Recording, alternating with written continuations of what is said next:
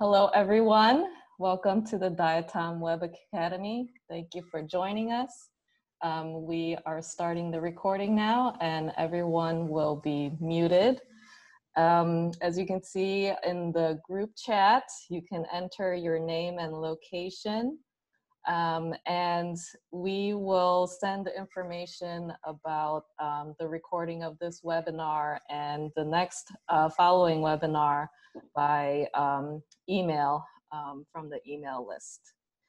And um, as you know, for those who've joined us before, we will be monitoring the chat window so you can enter questions in there um, at any point and we'll let the speakers know um, if there are any clarifying points that we need to make. And there will be time for questions at the end. Um, so with that, um, I'll turn it over to Sarah. Thanks, Sylvia.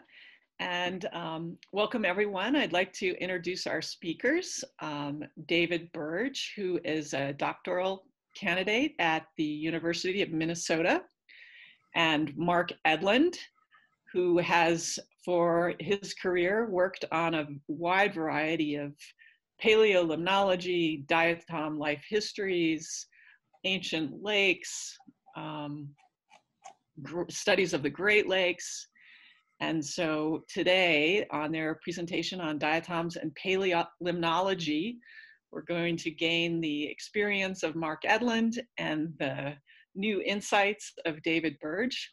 So um, welcome everyone. Thank you. All right. Um, thank you, Sylvia. Can, can you hear and see me? Yep. Excellent. Okay.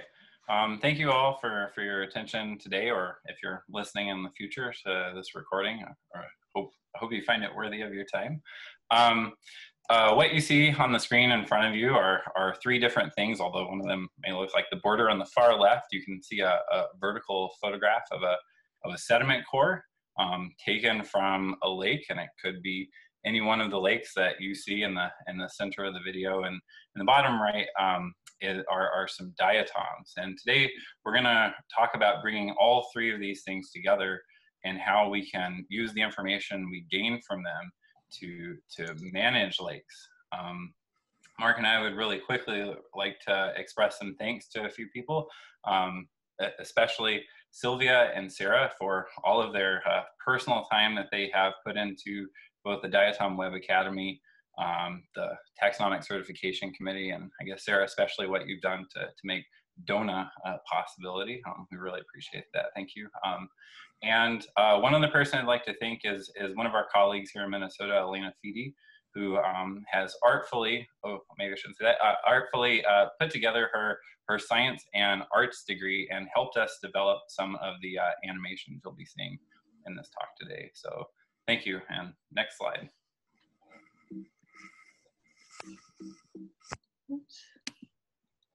All right, so um, we kind of break this talk up into to three pieces. I'm gonna um, begin by talking to you about what is paleolimnology, providing um, some of the, the questions and, and the, the interested parties um, who, who might use paleolimnology to, to inform their management decisions.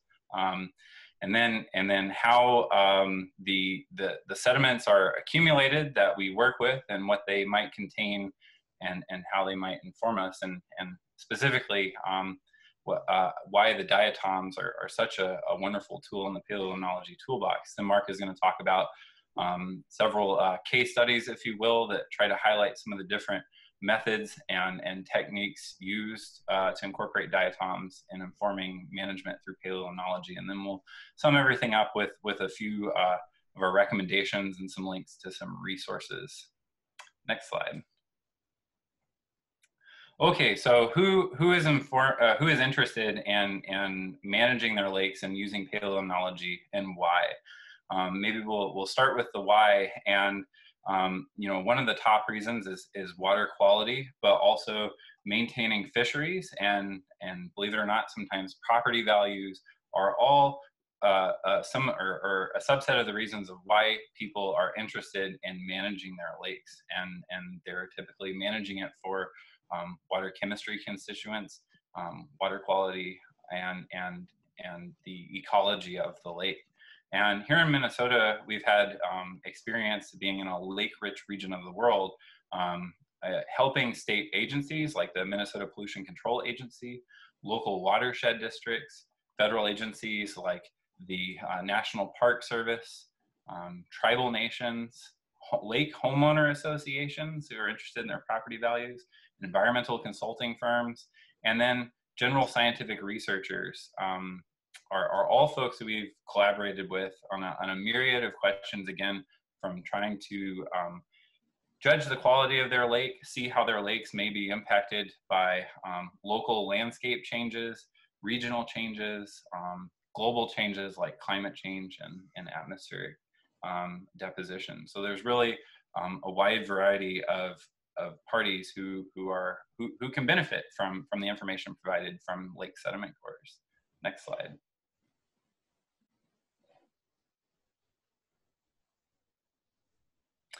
So to, to orient everybody, um, in case you're not familiar, um, lakes are, are a vastly complex ecosystem. Most of us just see the surface of the water. And most of the times I go out into a lake, the first thing I see for just a little bit is the surface of a water. And, and therefore a lot of the, the intricacies within the ecosystem are not apparent to us.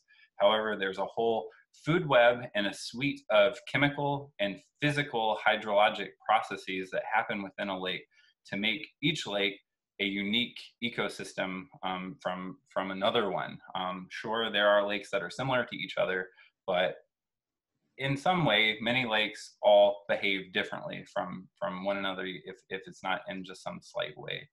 So there's a bunch of internal processes that can affect what is happening within a lake, and those internal processes can be driven by external things like landscape change, clearing the forest to, to make way for agriculture, and um, industry effluent um, and residential effluent. Um, again, things like atmospheric deposition and, and changes in global temperature can all change the way that a lake behaves and functions. But ultimately, all of these lakes, however different and whatever might be impacting them, are all depositional environments. And it's, it's key that they're depositional environments to what we want to do. And these depositional environments create a scenario where sediments are accumulated at the bottom of the lake, the, typically all over the lake, but generally the deepest part of the lake is, is one of the places that we like to look. And within these sediments, there are biotic and abiotic um, uh, fossils and, and proxies that, that get locked into the sediments and we rely on this happening in a conformable way. And what I mean by that is that the oldest sediments are at the at the bottom of the sediment pile, and and the newest sediments are right at the surface um, at the, at the bottom of the water.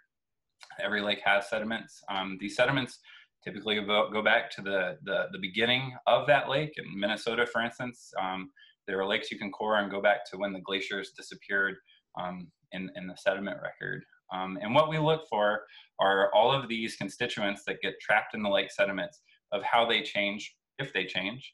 And, um, and we can use them as a measure if we've implemented management tools to see if the lakes are improving or, or the intended outcomes of our management tools. And, and, and that's really what can um, help uh, that's really what helps paleontology be a, a, powerful tool to not only inform management decisions of how a lake has been, but also can show how it, if these management practices are, are, are working. Next slide, please. Um, here is just an example of some different coring advice, uh, devices we use to go get the mud um, from the bottom of the lake. And I was thinking about this, it's, it's, it's lake sediment and, and I will probably call it mud sometimes. And that's like telling a geologist about dirt. They tend not to like that for soils, but I'll, I'll try to stick to sediments. Um, but just as you see a bunch of different coring devices here, um, you can have just as many, uh, if not a lot more, different kinds of lakes and different questions you might be asking in lakes. And ultimately, the, the type of coring device you use is driven by how much mud you would, how much sediment you would like to recover and, and how you can get to it. Sometimes a lake is so deep it's not feasible to use a lot of these methods. Or like in the second photograph there of Mark using the gravity core, you may only need, you know, 30 or 40 centimeters of mud to address your question. Um, next slide, please. So this is a series of animations and, and we'll, we'll, try to work through it as best we can to give you an idea of how lake sediments accumulate. Um, if you could go ahead and hit the advance button once. Um, we see a lake in a natural setting here um, with, with sediments coming into it um, from the landscape. Um, advance this. And, and also within the lake, we see particulate matter, both organic and, and inorganic, accumulating in the lake bottom. Um, advance, please. And even the diatoms end up getting trapped in these lake sediments down in the bottom. Um, next slide, please. On the right there, you can see some landscape change starting to occur. We have forest um, changing into agriculture and, and then some forest that was just cleared. And, and it's usually not as clear of a picture as shown in this animation, but the lake sediments begin to change. Um, next slide, please. And here we have further changes to the landscape and we see the, the ecology of the phytoplankton has changed to a little more cyanobacteria. And again, there are measures, um, which we often refer to as proxies, uh, becoming trapped in the lake sediment. Um, next, please. So here we go out and our boat, I wish we had a sailboat, but we, we uh, any boat will do. And, and we take our, our sediment core um, using one of the different methods. Um, advance, please. And so we drive the sediment core into the mud and uh, advance. And, and we retrieve a, a vertical section of mud that hopefully has um, preserved these um, temporal layers of uh, different time periods of, events in the lake's history. Next slide, please. Um, advance again. And so this is really the, the key piece, uh, advance, of, of what we want to take away from the lake is, is this vertical section of mud. Advance one, one more time. And, and hopefully we have preserved the sediment layers again in a conformable way and meaning that the older sediments are on the bottom and the younger sediments are at the top and there hasn't really been any mixing. Um, the sediment core you see on the left is a really beautiful sediment core showing a lot of change. Um, sometimes they're all just brown. But you, one of the first things we do when we take a sediment core, often on the boat or, or right on the shoreline, is we, we do a description. And the most important thing is we record the length, the, the, the, the depth of mud that we've recovered. We look for any kind of um, physical changes by looking at the color or any visible textures. We also look to see if there are any um, macrofossils like fish or, or plant fragments that are left in the mud that might inform us about the lake history at the time that that section was, was deposited. We then very carefully um, extrude the core by pushing the mud out, of the sediment out of the tube and taking very thin slices. These slices can be half a centimeter thick, they can be up to two centimeters thick and, and probably even thicker in some other instances, but we generally work with half centimeter to centimeter to two centimeter increments. And one of the things we're very careful to do, um, which Mark's daughter is demonstrating in the left photo here, is we like to trim the outside edge of our core because we know when we push the tube into the mud and also push the sediment out of the tube, that um, some smearing can occur. So we really just want to get that nice um, lake sediment that's right in the center of the tube to, to prevent any temporal contamination. And once we have all of these little cups of lake sediment, we um, use our paleolimnological toolbox to, um, which is which is a very vast growing toolbox to to look at the changes within these sediments. Next slide, please. One of the first things that we want to know when, when we retrieve a core is, is when were these sediments deposited? And a very useful way to do this is through isotopic dating. Um, many of you are probably familiar with carbon dating, and carbon dating is actually used on lake sediment cores on the 500 to 50,000 year time frame. In our lab, most of the questions we work with are within the 200 year time frame, and we use lead 210, which has a 12 and a half year um, half-life and is, is detectable up to 200 years ago. Um, on the far right, we have a graph of a bunch of, of, of age depth profiles. So depth is, is um, the top of the core is at the top of the graph. And as we go down, we see different curves. And it's okay that these curves um, have different slopes, but what's important is that the slope is always in the same direction. Sometimes a lake's uh, bottom can be subject to mixing, whether it's anchor drags or high winds. And we have a very useful tool um, from the above ground nuclear testing that happened in um, the 1950s and 60s and subsequently was stopped. Um, a byproduct of this was cesium-137. And so if we have some question in our core, we can at least double check our lead-210 dates by looking for a spike of cesium around the time of the 1950s and early 1960s. Next slide, please. Once we have a dated core, we can look at some other biogeochemical proxies. We can look at the percent organic or inorganic content of the, the, the core, um, which may tell us about the, the sediments from the watershed um, coming in and, and, and the source of those sediments coming into the lake and what's getting deposited in the bottom of the lake. We can use things like algae pigments and biogenic silica to measure algal productivity. And we can also use phosphorus fractionation to, to get a handle on how much external and internal loading of phosphorus is occurring in the lake. And one of the key things that we like to implement and um, in paleolimnology is the use of multiple proxies because we want to use multiple lines of evidence to tell the same story since we weren't actually there to take the measurement. Advance the slide, please. Um, in addition to the um, biogeochemical signals, there are the, there there are a lot of biological proxies um, we can look at. We can look at fish remains, um, diatoms, which talk more about in a second, um, plant pollen remains. Um, plant pollen can tell us about changes in the surrounding terrestrial landscape if the forest has been converted to agriculture or something like that. There are um, algae um, fossils. Uh, other than diatoms, there are um, fossils from silica, uh, from sponges, which might be an indication of how much silica is available in the lake. And something I'll talk a little bit more about towards the end of the talk is, is the use of, of finding DNA preserved in the sediment cores. Next slide, please. Um, so our main focus today is to talk about diatoms. And here is a brief example. You don't have to be a um, diatomist to, to maybe see the changes here on the left. We have um, a, a, a, micrograph from a, a, slide from the 1880s and, and a micrograph from uh, more modern times um, on the right. And diatoms are these wonderful single-celled algae that are highly diverse and occur in almost every um, uh, aquatic ecosystem on the planet. And luckily for us, they are easily identifiable by their shape and ornamentation at the species level. And we can see that there has been a species composition change from the 1880s to the top of the core in the 1960s. Um, on the far right is a maybe a, um, a dumbed down version of, of what we might see where a, a type of diatom occurred at the bottom and slowly transitioned to another diatom. Maybe some management practice was implemented and the lake began to go back to, to the original community. Um, advance the slide, please.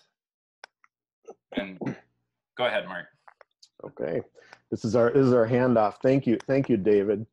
What I'm going to talk about during the second part of our our uh, presentation here is how we use diatoms and then how we can apply them to um, look at, at water resource issues.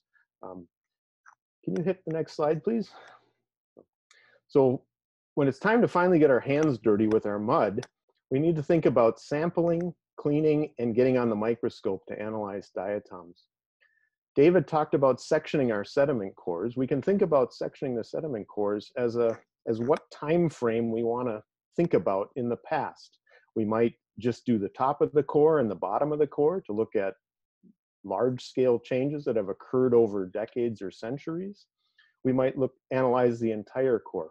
One thing to know about diatoms is since they are made out of silica, we can typically use either wet mud or freeze dried material without any uh, damage to the diatoms. Uh, typically, we use freeze dried material because it allows us to control how much sample we're going to be weighing out. For cleaning of diatoms, we use standard oxidative techniques that we've, we've all used for diatoms. Um, there was a very nice uh, diatom uh, news article in the uh, DONA website that you can look at summaries of different types of cleaning techniques. For mounting of our clean diatoms on the microscope slides, again, we use our standard techniques, which is usually involve uh, high index, uh, high, high index of refraction media such as Naphrax or Zrax. One choice we need to make when we're thinking about looking at diatoms is whether we want to look at them from a qualitative standpoint or a quantitative standpoint. In the picture here are a whole bunch of what are known as batter Battarbee trays. Um, Battarbee trays are one technique where we can look at quantitative um, preparation of diatoms so that we know exactly how many diatoms are found per gram of sediment. Um, they also make amazingly beautiful microscope slides with random distributions and we encourage their encourage their use in this once we get our microscope slides made from our sediment levels we get on the microscope and typically um, you want to use the best microscope you can with the best optics you can so oil immersion high high numerical index uh, lenses we usually count across transects on, on the microscope slides. The length of that transect, its location on the microscope is recorded. And quite often we use fixed counts. These are often 400 to 600 valve counts on our microscope slides. Um, there are techniques for um, deciding how much, uh, how many, how many cells you might count to best capture, capture the diversity and there's other techniques that we've discussed in other webinars, such as the O over E approach that may be used also for, um, uh, for analysis. For identification, um, diatoms of North America, DONA is a great site to, to begin working with. There's also uh, many different lab groups that do paleolimnology who have provided uh, floras or published floras on their things. These are groups like the, the John Smol lab, um, Euan Reavie's lab, Pete Siver, Paul Hamilton's lab, uh, Reinhard Pienitz. These are all people who have taken, are, are really actively involved in sediment coring and are publishing their floras for others to use. Take the next slide, please. So what happens now that we've counted our diatoms? Typically, we, when we do counts, we generate uh, data that is based on relative abundance. What percentage of one species is there relative to the total number of, of, uh, uh, of valves we counted? Um, we can do, as I mentioned, absolute abundance. This is usually done as millions of diatoms per gram dry weight of sediment and can help us uh, decipher changes in productivity in the end, what we're trying to generate is generally stratigraphic diagrams like you see at the left here, where the top of the core, the most recent material is at the top of the graph, and we go down and down the uh, y-axis back in time, with on the x-axis the relative or percent abundance of each species here.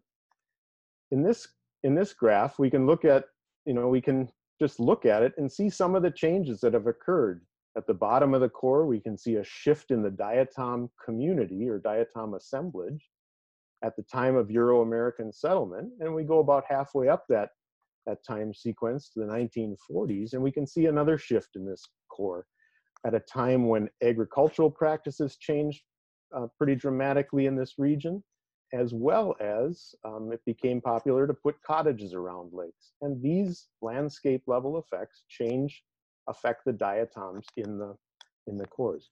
We're also going to talk about how we can start deciphering or finding structure in these types of data with um, clustering and ordination techniques.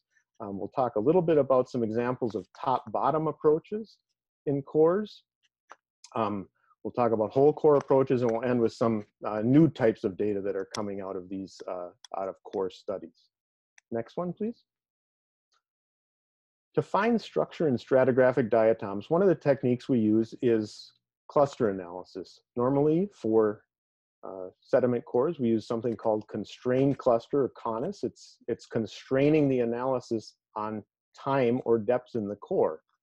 Um, in this example shown above, there's a red line that goes across at about 1980. In this lake, that was a time period when a wastewater treatment plant and a creamery that were discharging to this lake were um, uh, their discharges were moved off, off away from the lake. And you can see that that's the most dramatic change that has occurred uh, in the in the in the history of uh, in the 200 year history of this lake. Um, on the right hand side of the graph is a is a line that also I just want to point out is was one way to also think about uh, changes in lakes. There's a, a plot of the percent of planktonic diatoms in many of our shallow lakes when we see these large bumps in planktonic diatoms it's a it's a it's a change of state in these lakes when they've lost their macrophytes and plankton have uh, have taken over the other way we look for structure in sediment diagrams is using ordination techniques on the right hand side here is an example of a, a non-metric multidimensional scaling graph where each uh, depth in the core is, is represented by a point there. We can see a, a large shift that occurs in the 1950s and 1960s in this lake. And in this particular case, it was a time period of the end of logging and again, uh, the uh, uh development of, of cottages around these around this lake that uh, controlled sort of the largest jump in this in this lake. Next slide. One of the techniques that's that's uh, that's still widely used for considering change in cores are the use of transfer functions or calibration uh, sets. These are generally used something known as weighted averaging calibration and regression. And what the goal of these techniques is to first identify diatom responses that can be significantly and independently explained by environmental variables. Why this is important is most of our management techniques are not interested in how diatoms are managed, but they're interested in how things that we often measure in water quality, like total phosphorus or pH or salinity might be measured. So what we want to be able to do is to, can we take a modern or a fossil diatom community and use it to predict or construct that water quality variable of interest? I'm going to talk about a couple of an example that we've used in Minnesota where over 100 lakes have been studied to develop phosphorus models. Let me just give a little more detail on how this uh, calibration technique works. Can I get the next slide? What we do is we, starting at the top of that graphic, what we typically do is study um, the modern distribution of diatoms over many, many lakes in a, in a region. Um, it might be 50 lakes, it might be 70, it might be more than 100 lakes. In each of those lakes, we measure the diatom community that's living there. We measure contemporary water chemistry variables or contemporary physical chemistry variables that are might be controlling those diatoms. And then we explore those data to try to identify where independent and significant um, very, how how environmental variables can independently and significantly explain the distribution of the diatoms. When we've identified those, we can use them uh, to develop models. The models are based on species responses. Those uh, smooth curves there are um, showing the optima and tolerance of various diatom species, which are used in developing these weighted averaging models to predict, again, a water quality variable based on, uh, based on the diatom assemblages that's preserved there.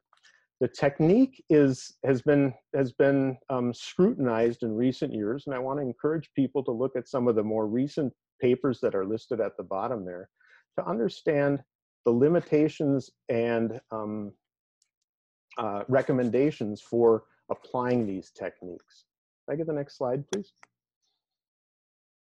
One of the techniques, one of the ways that this technique has been used is in the development of phosphorus standards for US Lake. The US EPA has asked uh, states in the country to develop phosphorus standards for our water bodies. And when waters exceed those standards, it's how we define a lake or river as impaired. And when a lake is impaired, a plan must be put in place to return those to compliance.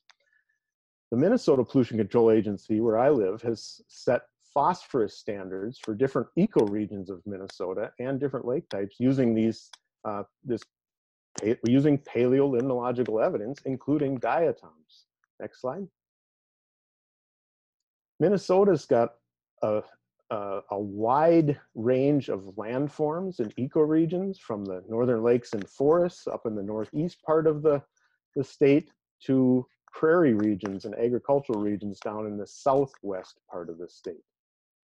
What we did is took cores from over 70 of these lakes, um, analyzed the, dated the cores, analyzed the core top to assess the modern condition of the lake and develop our, our calibration set, and sampled below the Euro-American settlement horizon to understand what the lakes were like back in time. In each of these things, we estimated the total phosphorus using the diatom, the diet using diatom inferred total phosphorus. Next slide.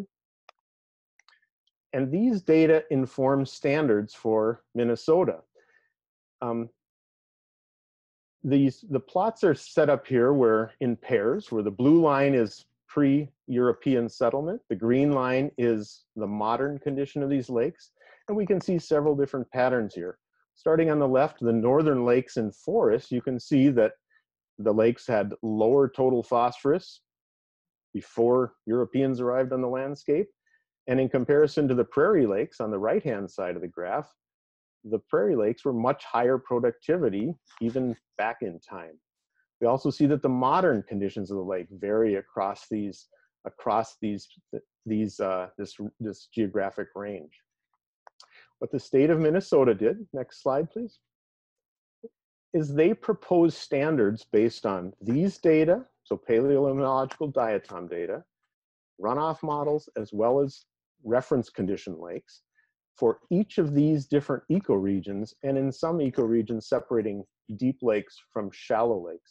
What this does is it provides us a, ruler, a measuring stick of how we might um, think of the, the health of our, of, of our lakes. Next slide, please. How might we use these types of information? We might want to prioritize where we spend our management dollars. Just west of the Minneapolis-St. Paul region is a large lake called Lake Minnetonka that's in a, in a watershed that's very, very water rich. We took sediment cores from about 20 different uh, lakes or embayments in this region and did a top-bottom analysis of them, including uh, estimation of what the phosphorus values were, to try to understand how these lakes had changed over time. Each pair of dots, the top dot is the current condition, the bottom dot is the pre-Euro-American condition, and we can see several different patterns. Some of the lakes, the ones that have two blue dots, haven't changed that much. It's a place where we don't probably need to spend our, our resource or our, our management dollars. Other lakes, like the one at the upper upper right, Gleason Lake, clearly that lake pre-European was a was had much better phosphorus conditions, and this is a type of lake that may best respond to our to remedi to using those remediation dollars. So these are ways that we might take paleolimnological information in a regional setting and use it to prioritize how we spend our money. Next slide. Other ways that we can use the sediment record in diatoms is to understand how lakes are recovering from management that has been put in place. Lake of the Woods is a very large lake that's on the border of Minnesota, Ontario, and Manitoba. So it's an international borders water. And one of the things that occurred is back in the 1970s, with the uh, passage of the Clean Water Act, there was um, large efforts made to curtail the total phosphorus load that was coming down the main river to this lake from wastewater treatment plants and industry. That load was curtailed dramatically. In the left-hand graph, you can see that. And what we're interested in how that uh, management action affected this lake. What we found is that it had, it, it, it did affect somewhat the, the, how, the, how the lake the total phosphorus in the, in the sediment was recorded. Uh, that center graph is our diatom inferred total phosphorus. But we can also see that it, even though we've dramatically um, reduced that phosphorus loading, the lake has continued to remain relatively high in phosphorus. And the reason is, is because there's a huge phosphorus load sitting in the sediments of this lake that's still being circulated and still being loaded into the lake to continue the productivity of this lake. Climate change is also probably affecting it. In the end, um, we're getting close. Uh, the lake is, is getting closer to, to meeting its standard, um, and hopefully we can take it off our impaired waters list at some time. Next slide, please. Any environmental conditions that control diatoms, these traits that diatoms have, can be utilized to, to uh, in, in, in a paleolimnological setting. Where diatoms grow is important, the lake depth. Um, here's a study that we did in uh, northern Wisconsin, where we took 15 short sediment cores from throughout a lake at all different depths and looked at the diatoms that were living in, the, in living at in each of those each of those areas of the lake. What we learned is that water depth controls where diatoms grow in the lake, and because that, we are able to use that to develop a model to predict what how that lake depth has changed over time. In this case, we were very interested in modern conditions of that lake. The lake has got a very low water level, and we were wondering if that was just normal or within the typical variation of that lake.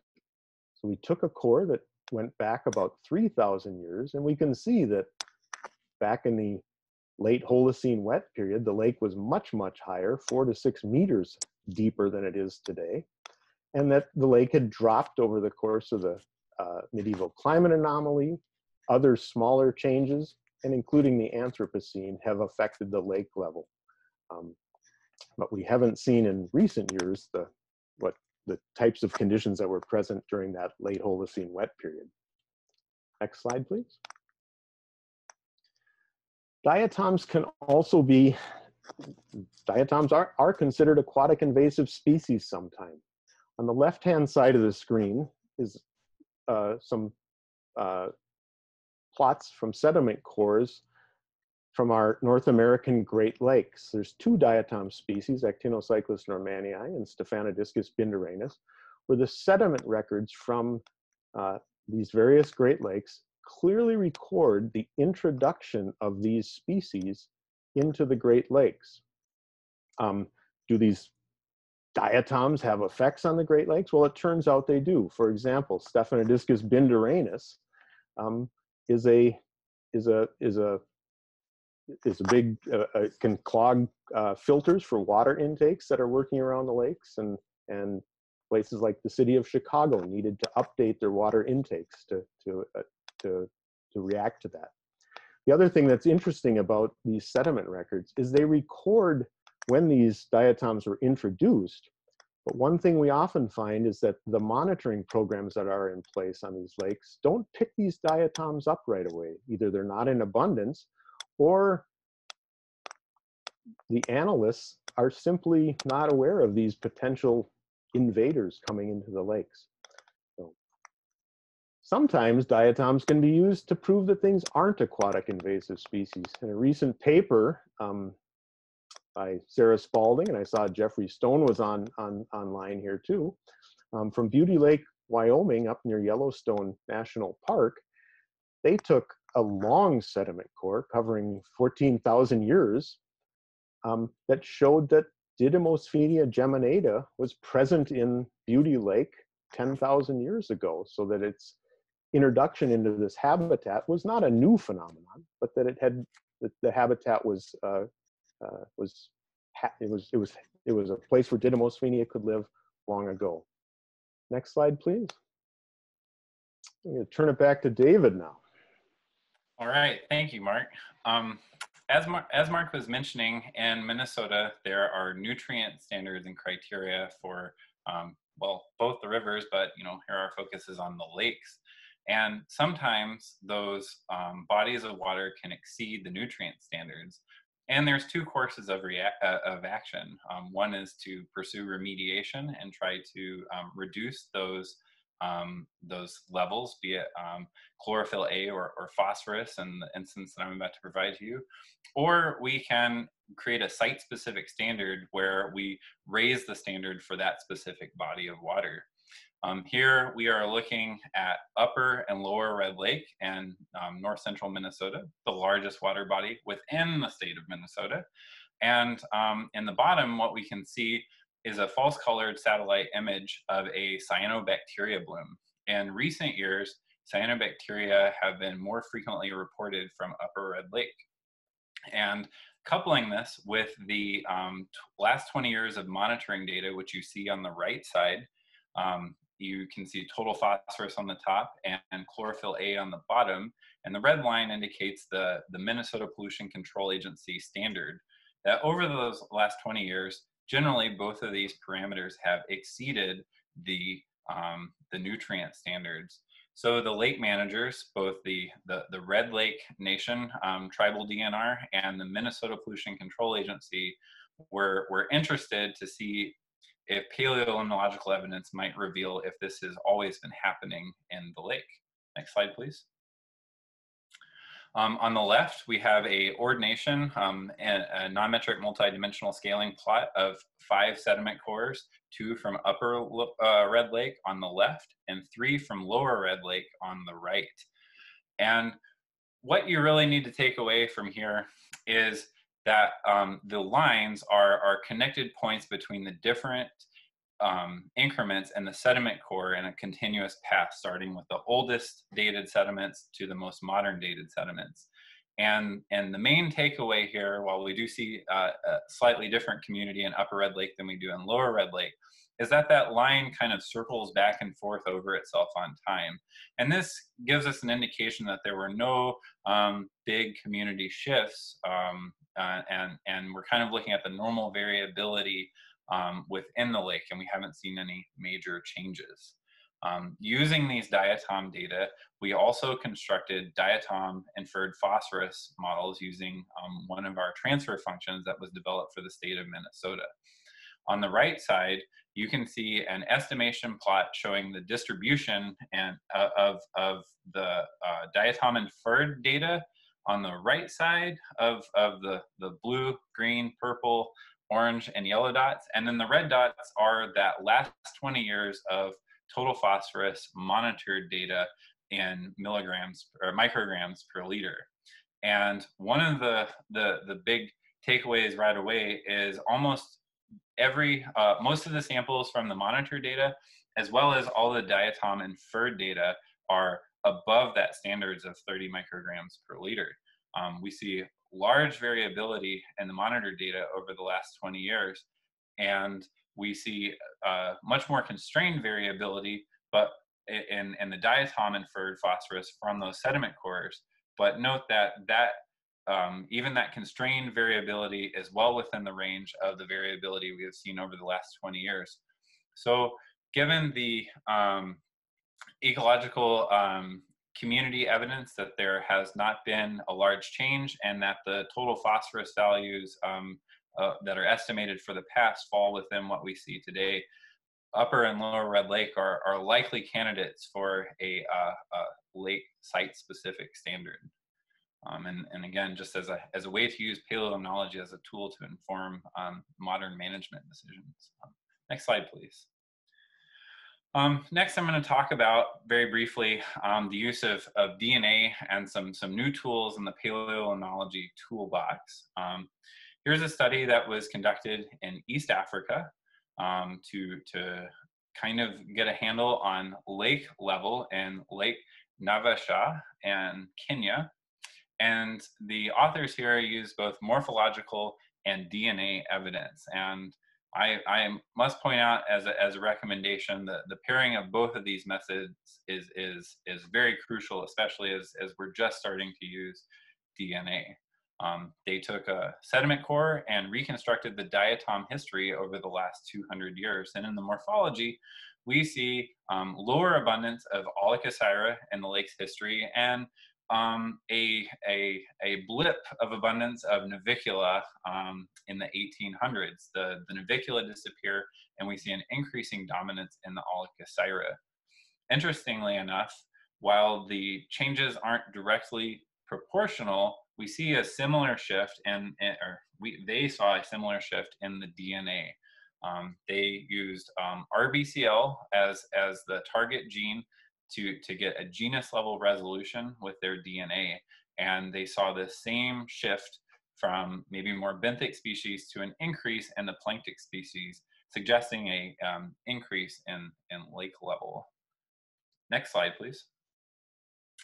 Um, the, um, the same research group um, implemented paleogenomics again. This is environmental DNA. Um, and they used uh, RBCL to target a, a, single species of, of diatom, Staurosira venter. And instead of looking at genus level shifts, they looked at within species variability. And I'm not sure that within species variability is something that a lot of diatomists have been thinking about. Um, but what they revealed is they took some surface sediment cores along the tree line in Siberia and they identified different strains of Staurosira venter living above and below the tree line, mostly related to the vegetation that was growing um, around the lake. Um, and so they they use this data to sort of create a um, pseudo DNA transfer function model, though that's not what they said they did. It's just the way I'm encapsulating it. Um, and they use the knowledge of these different strains living above and below the tree line to and apply them to a sediment core for on a lake taken now above the tree line. And what the evidence suggests, coupled with with pollen data, is that strains that were more prevalent within the tree line used to inhabit the lake um, several thousands of years ago, and and it's suggestive of a shift of the tree line um, can be seen in the shift in the strains uh, uh of, of diatoms. And um, this is a, a, a, really fascinating study because looking at the variability within a species adds a much finer tooth comb possibly to the to the paleolimnological toolbox. Um, very, very fascinating. Um, next slide, please. Um, one other emerging field along with environmental DNA is the field of resurrection ecology.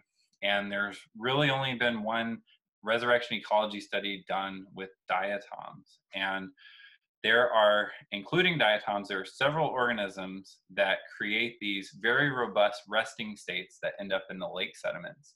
And what we found is these resting stages can be revived up to over 100 years ago. Um, diatoms have been resuscitated from, from the lake mud um, if we give them the right amount of nutrients and, and sunlight.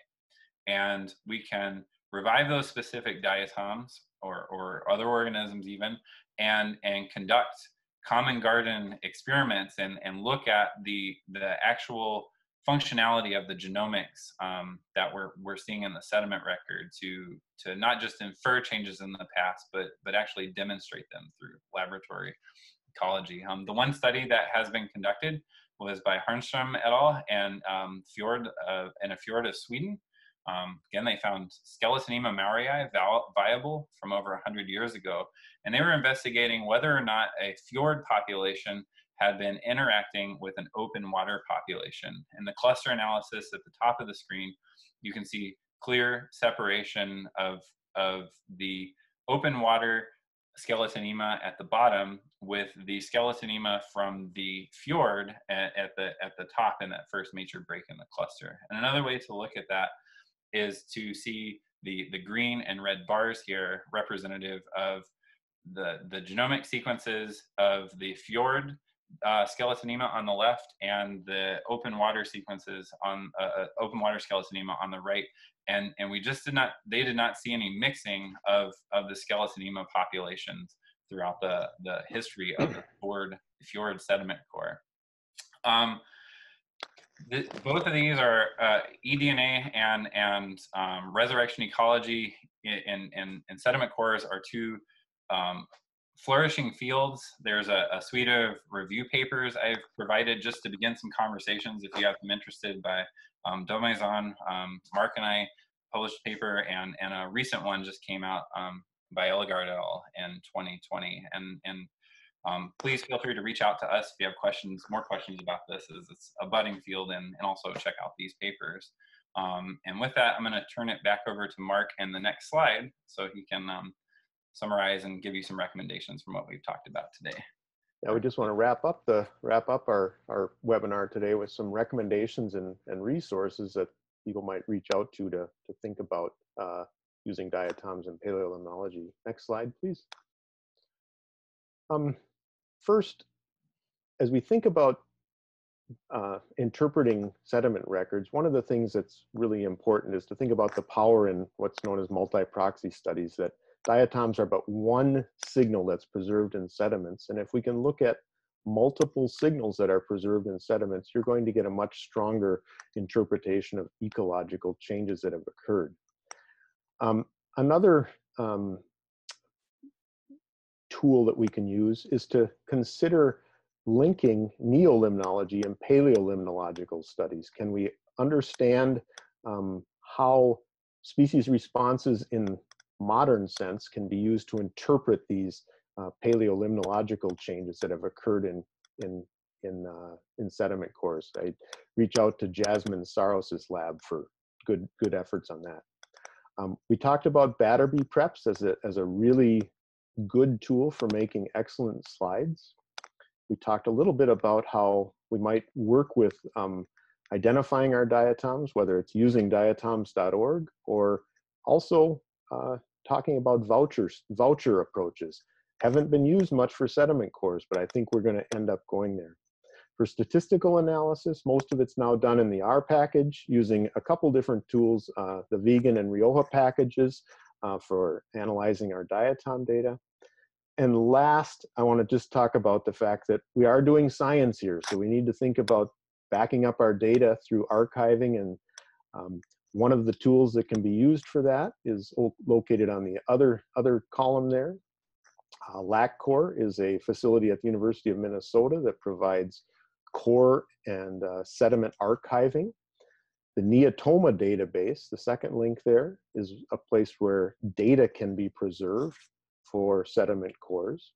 For some of the tools that we use, including dating of cores, you might reach out to the St. Croix Watershed Research Station where lead-210 and cesium-137 dating is, is completed. Uh, for carbon dating, most of it's done down at the Arizona lab at that link. And an, a final tool that I wanted to recommend is the uh, TMI tool that's also at uh, hosted at LacCore, which provides a number of tutorials on how um, how you might you might just take a quick look at your diatoms and, and try to understand the patterns of change that are occurring in your sediment cores. Next slide, please. Um, we're going to end here with uh, the next uh, couple slides have um, some of the references that we've had here. You can go to the next slide, please.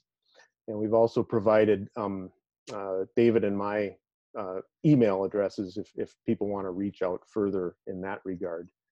Is there even one more slide? I think there's, nope, that was it. So we'd be happy to entertain any questions in the final minutes of our webinar here if people have them.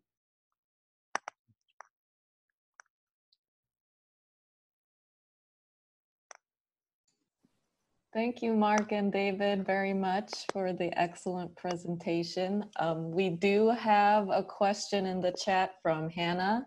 Mm-hmm. Um, she uh, put in this question when you were talking about the diatoms that live in deeper um, lake levels or shallow lakes. Um, what model or method was used to reconstruct the lake levels?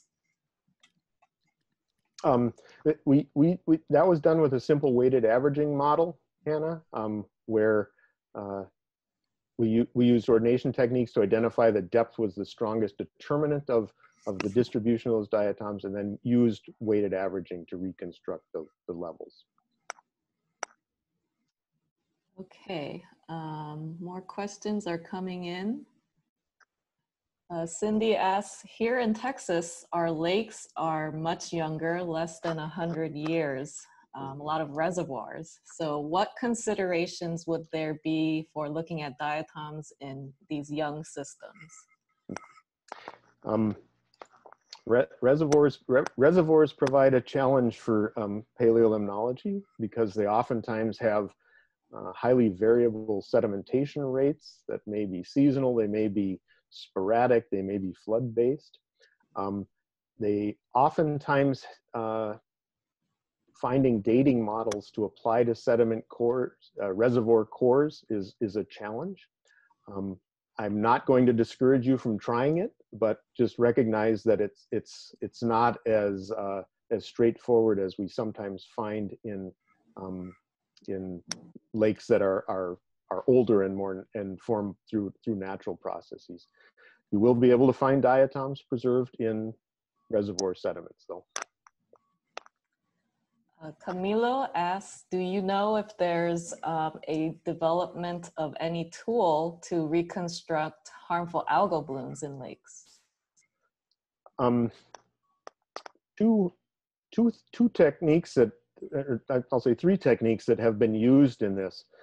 Uh, early on, um, there were uh, good efforts put forth on identifying fossils of cyanobacteria in in sediment cores. This is usually done by identifying akinetes, which can be identified to the species level.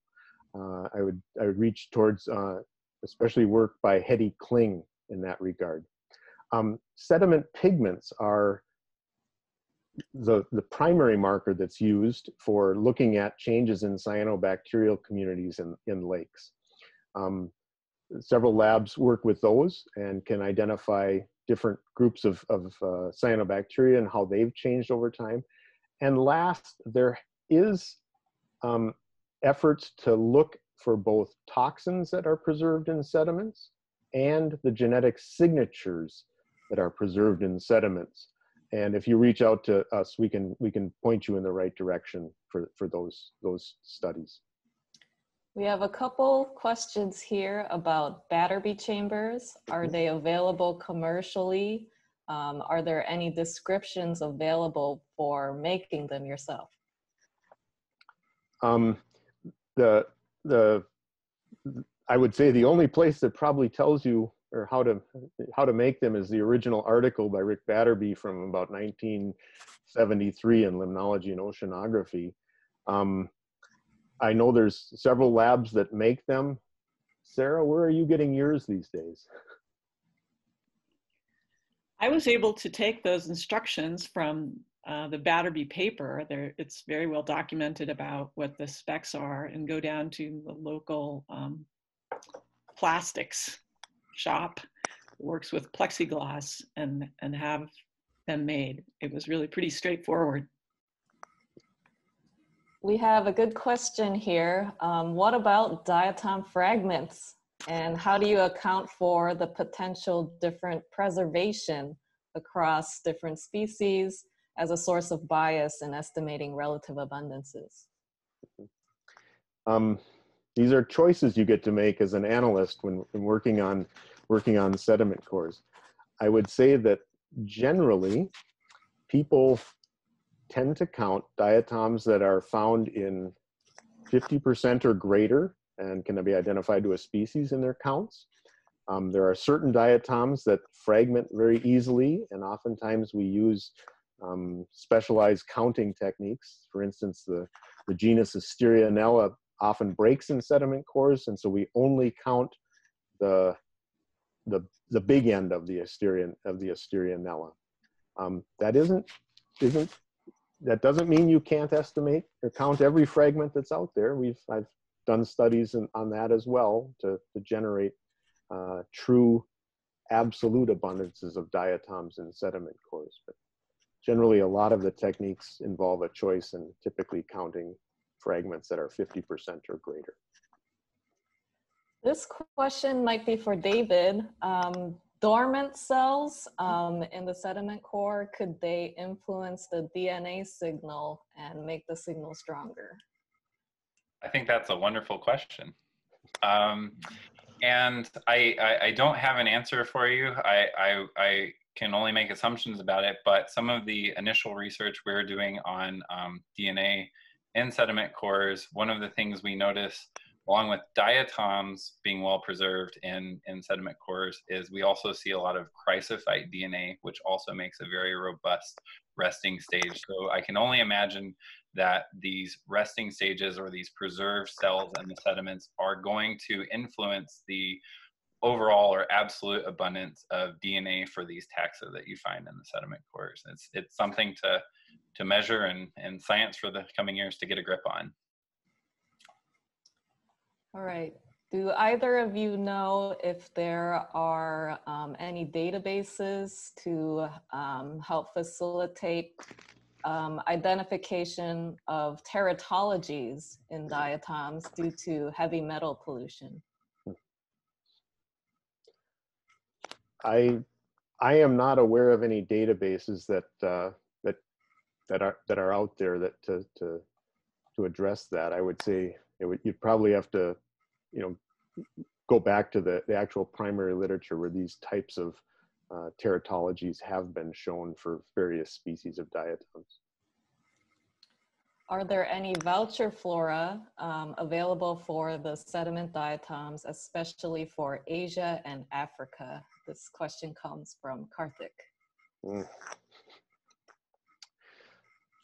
Um, I, I know that there's a, a number of, of um, groups that have published floras um, around. I know that you know there's papers from around Lake Baikal uh, that have that have talked about some of the Asian the Asian floras there. I know that there's papers coming out of China that talk about sediment core floras as well. Um, I think it would have you'd have to reach out to to more regional um, researchers to find out who has put together those resources. I talked a little bit about some of the groups in the in North America who have made efforts to um, uh, document their floras for others to use. I have one more question. Um, how do you um, decide how many cores you're going to take from a lake? And how do you know those cores represent the lake? Um, I think I think that that that question is um, is is based primarily on uh, the question you're asking. You know what what you want to learn about a lake. Um, in general, as as David mentioned, sediments are deposited throughout the lake. So you might, so for instance, the the study that we did on depth in a lake, we didn't take that core from the middle of the lake. We actually took it over towards the side of the lake where changes in depth might be better recorded. Um, generally for, for us, the number of cores reflect the uh, diversity of habitats within the lake and the size of the lake. So bigger lakes oftentimes get more, have more variable water quality issues around them. So we might take more cores. Um, and the other thing is, uh, your other thing you asked about was how you know if one is enough. Um, that's why um, that's that's why your your initial coring location and initial analysis of your core, both the physical analysis of it, description of it, and especially your your dating is going to start picking up anomalies. And yes, you sometimes have to go take a new core. Thank you. I think that is it for the questions. Thanks, everybody. I love the um, pictures of everyone here. Um, I see folks working on the microscope, um, doing the question session. Um, so it's great to see. Great to see everybody. Thanks, everyone, for joining us. I'd like to echo that. Um, thank you, David and Mark, for a really informative presentation. And I really appreciate being able to get together with everyone. We're also isolated in our homes, and this is really a bright spot to be able to get together and continue to learn and make connections within our field. And I'd just like to reach out to anyone who would be interested in sharing their work. We have thought about um, some different types of topics for these sessions. Um, whether they're directed at managers or focusing on genus level um, studies like Marina Potapova's on Planothidium and having more of those sort of analyst and taxonomist uh, directed talks, as well as um, instructions on how do you really manipulate a lot of images and deal with them. So um, let us know. You can reach out to Sylvia or myself or anything through any of us through the um, diatoms.org contact list or anybody's email. Um, and thanks everyone for staying home and for hanging in there. Um, be well. Bye, everybody. Thanks, Sarah. Thanks, Sylvia.